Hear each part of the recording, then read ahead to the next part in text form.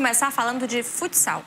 É isso mesmo, Tati. A gente fala de futsal porque, assim como outras equipes, o Oeste Futsal segue com as atividades presenciais suspensas.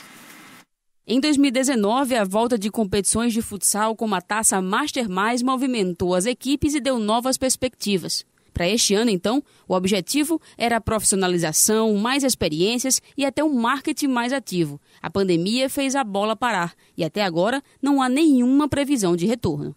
A gente resolveu parar. A gente vê nos últimos postagens com alguns times voltando é, em relação ao futsal, alguns times voltando, fazendo um trabalho físico. Nós vemos frequentemente se reunindo, usam os aplicativos que a gente aprende a usar, como o Meet, outro faz essa reunião online. E até o momento, ontem mesmo, cantou, essa semana mesmo, a gente voltou a se reunir e decidiu esperar mais um pouco.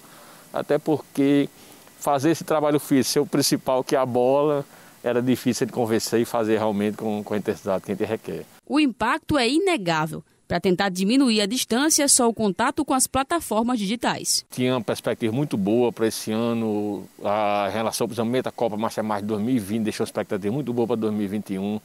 Tinha outras competições na região.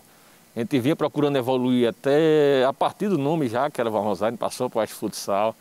Aí com esse previsto realmente brecou. Só resta agora esperar os próximos meses esperança de estarmos, estamos adiantados, acredito que está próximo dessa, dessa vacina, cor do tipo.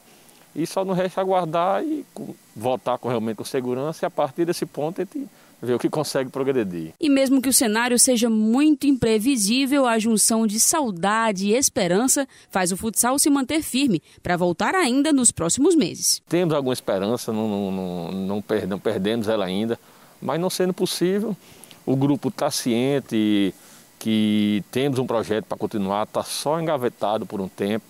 É, temos alguns apoios que foram levantados até para material que estamos esperando liberar para fazer esse material novo. É, com esperança de ser para 2020, se não, 2021 a gente retoma o projeto, já tem um molde formado. Foi só dar uma paralisada, mas na hora que for liberar a gente está de volta ativa.